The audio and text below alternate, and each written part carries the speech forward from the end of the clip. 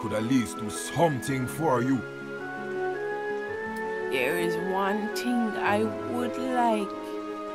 Ships sailing here from the Caribbean usually have delicious sea sponges stuck to the hull.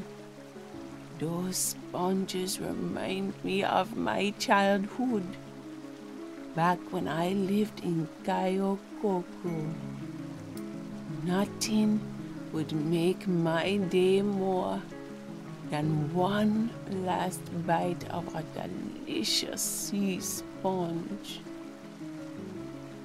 We'll see what we can do. Here you go, Mrs. Carey. I brought you the sponge you like so much.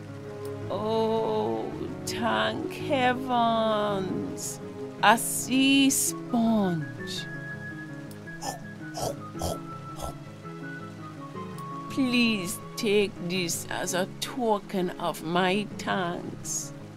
And now allow me to rest. I wish you good luck with the rest of your adventures.